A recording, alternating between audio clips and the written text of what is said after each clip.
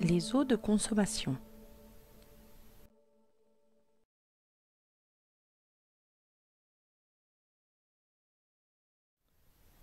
Les eaux de consommation sont des boissons qui sont vendues dans le commerce, en bouteille, ou qui sont distribuées directement au robinet. Dans le commerce, on trouve des eaux minérales naturelles, des eaux de source, plates ou gazeuses. Au robinet coule une eau qui peut être consommée, mais qui peut aussi servir à la cuisine, à se laver, à tirer la chasse d'eau, à faire la lessive. L'eau minérale est une eau d'origine souterraine qui présente des caractéristiques physiques et chimiques constantes. Voici par exemple l'étiquette d'une eau minérale naturelle de Vic-sur-Serre. À gauche, les propriétés thérapeutiques. À droite, l'analyse d'un litre d'eau. L'eau minérale est captée et conditionnée sans traitement. La source est protégée de toute forme de pollution. Une eau minérale ne vérifie pas forcément les règles de potabilité. En France, il n'y a pas de seuil minimal de teneur en sels minéraux pour obtenir l'appellation eau minérale.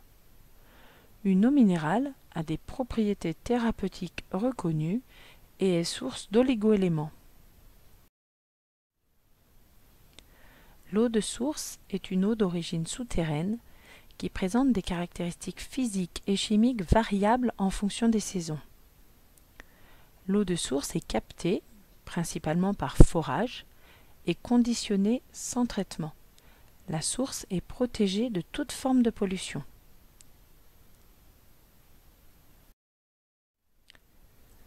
Une eau de source doit vérifier les règles de potabilité.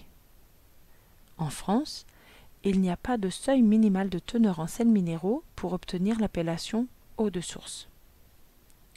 Une eau de source n'a pas des propriétés thérapeutiques reconnues. la France compte de très nombreuses sources d'eau minérale naturelle et d'eau de source.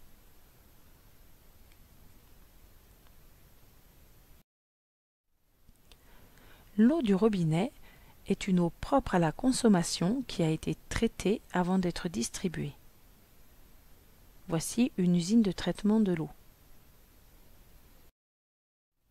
L'eau du robinet est un des aliments les plus contrôlés en France. On peut connaître les résultats des analyses de l'eau distribuée dans sa commune en consultant la mairie. Par exemple, voici l'analyse de l'eau à Orsay le 10 juillet 2015.